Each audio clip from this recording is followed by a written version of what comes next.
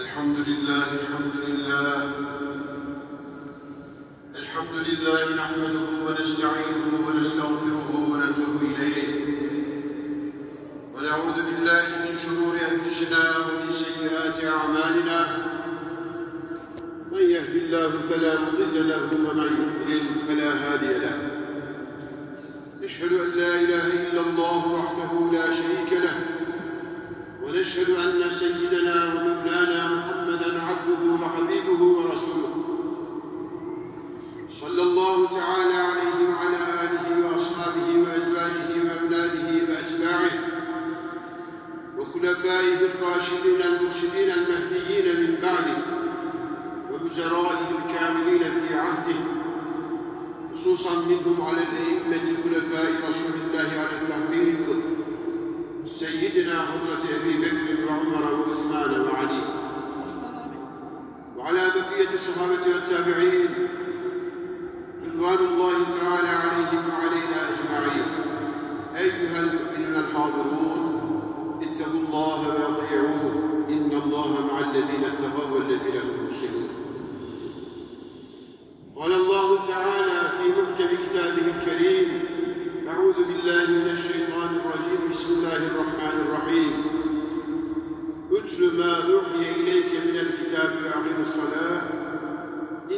الصلاة تنهى عن الفحشاء والمنكر ولذكر الله أكبر والله يعلم ما تصنعون. صدق الله العظيم. وقال النبي صلى الله عليه وسلم صلاة الجماعة تفضل صلاة الفذ بسبع وعشرين درجة. صدق رسول الله فيما قال. أو كما قال النبي عليه الصلاة والسلام.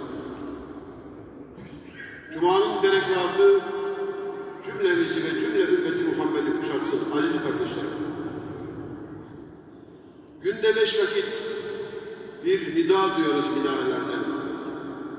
Gök kubbenin altında Rabbimizin kutlu daveti yankılanır. Hayya ales salah, hayya alel felah. Haydi namaza, haydi kurtuluşa. Bu davet camiye ve cemaatedir. Bu davet Cenab-ı Hakk'ın huzurunadır. Bu davet namazla dirilişe, namazla kurtuluşadır. Aziz müminler, Es-salatu imadu'd-din. Namaz dinin direğidir. Evvelü ma yuhasibu bihil abdus-salah. Namaz kıyamet gününde kulun hesaba çekileceği ilk amelidir. Miftahul cennet es-salah. Namaz cennetin anahtarıdır. İslam'ın beş temel esasından biri olan namaz kulun hem bedeni hem bedeni hem de ruhuyla Rabbine yönelmesi, onunla daimi ve sağlam bir bağ kurmasıdır.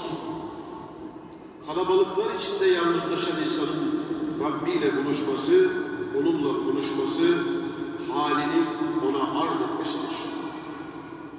Kıymetli Müslümanlar, biz namazı kılarız. Namaz da bizi kamil bir mümin kılar, kılmalıdır namazını hakkıyla eden, eda edenleri iyiliğe sevk eder, kötülüklerden beri kılar.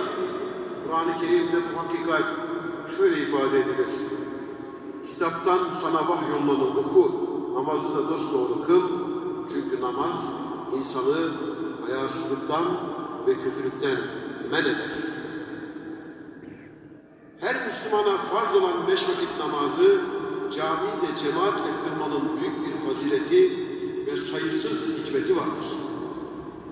Cemaatle namaz kılmak o kadar önemlidir ki Yüce Rabbimiz cihat meydanında dahi namazlarımızı cemaatle nasıl kılacağımızı Kur'an-ı Kerim'de ayrıntılı olarak açıklamıştır. Sevgili Peygamberimiz Aleyhisselatü Vesselam ise cemaatle kılınan namaz tek başına kılınan namazdan 27 kat daha faziletlidir buyurmuşlardır. Cemaatle kılınan namaz kalplerimizi birbirine bağlar. Aramızdaki sevgi, saygı ve muhabbeti artırır. Birbirimizle tanışmaya, kaynaşmaya, sevinç ve kederde ortak olmaya vesile olur. Aziz Müslümanlar, şu anda eda ettiğimiz cuma namazı ise müminlerin buluşmasıdır. Cuma namazı iman kardeşliğinin, kaynaşma ve bütünleşmenin yek vücut ve tek yürek olmanın en canlı örneğidir. Önder bir ümmet, hayırlı bir toplum olmamızın en büyük nişanesidir. Cenab-ı Hak bu mübarek günde dünyevi telaşlarımızı bir kenara bırakarak Cuma namazına koşmamızı şöyle emretmektedir. Ey iman edenler! Cuma günü namaz için çağrı yapıldığında Allah'ı anmaya koşun ve alışverişi bırakın. Eğer bilirseniz bu sizin için çok hayırlıdır. Geçerli bir mazeret olmadan cuma namazını terk etmek ise ağır bir vebal, büyük bir günahtır. Nitekim Allah Resulü sallallahu aleyhi ve sellem bir hadis-i şerifinde şöyle buyuruyor.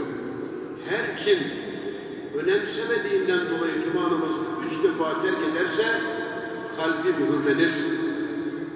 Kıymetli anne babalar, sevgili Peygamberimiz sallallahu aleyhi ve sellem bizlere şöyle sesleniyor.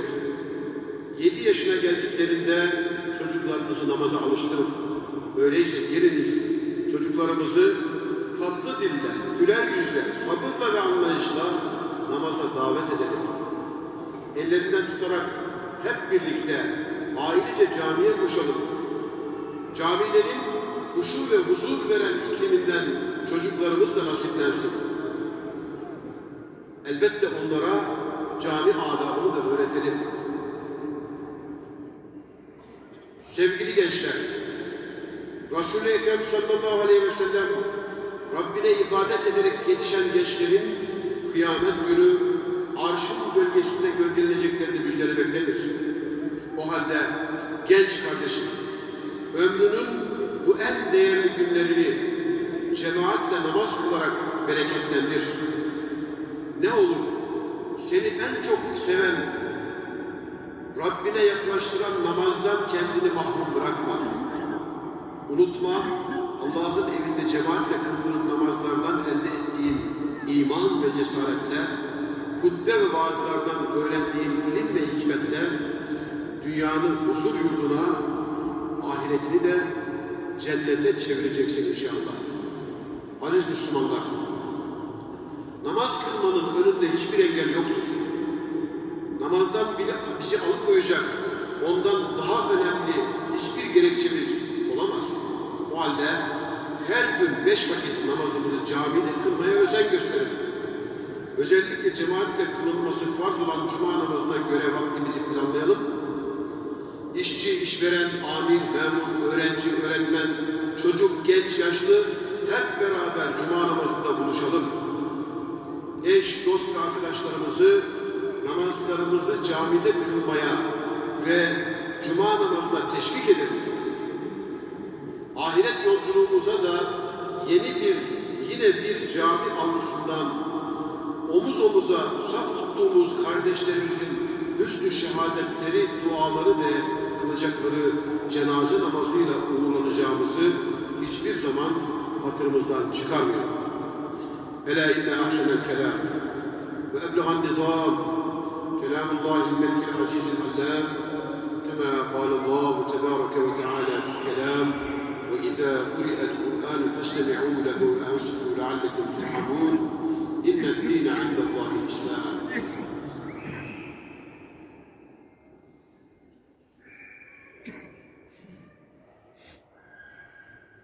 الحمد لله حمد الكاملين والصلاة والسلام على رسولنا محمد وآله وصحبه أجمعين تعظيما لنبيه وتكريما لصفيه فقال عز وجل من قائل مخبرا وآمرا إن الله وملائكته يصلون على النبي يا أيها الذين آمنوا صلوا عليه وسلموا تسليما. اللهم صل على محمد وعلى آل محمد. كما صليت على إبراهيم وعلى آل إبراهيم إنك حميد مجيد. اللهم بارك على محمد وعلى آل محمد كما باركت على إبراهيم وعلى آل إبراهيم إنك حميد مجيد. اللهم وارض عن لأرواح الخلفاء سيدنا حضرة أبي بكر وعمر وعثمان وعلي وبقية العشرة المبشرة وآل بيت المصطفى وعن الأنصار والمهاجرين والتابعين إلى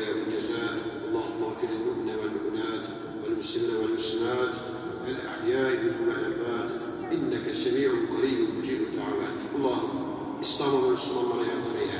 Ülkemizi ve bütün bilad-i İslami'yi görünür görünmez felaketlerden, musibetlerden, bir cümle eşranın şerrinden muhafaza eyle. Bizlere, anne babalarımıza, çoluk çocuğumuza ve bütün inanan kullarına dünyada ve ahirette iyilikler ve güzellikler ihsan eyle.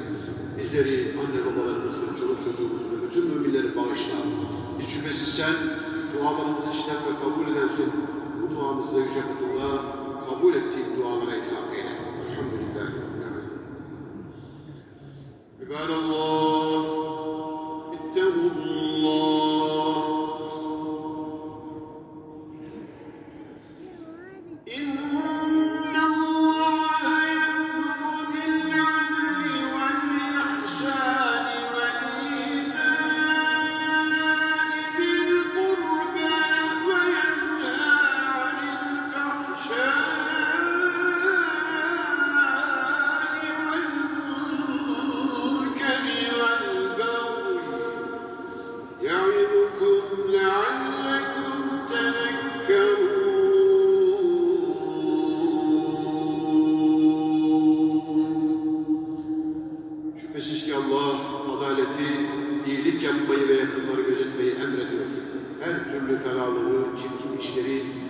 haddi aşmayı.